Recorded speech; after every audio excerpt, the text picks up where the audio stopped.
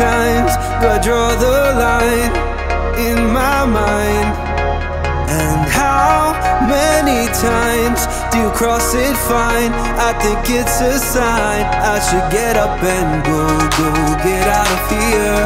Instead of wasting all these words and tears.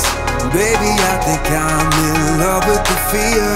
So I'll keep sitting here.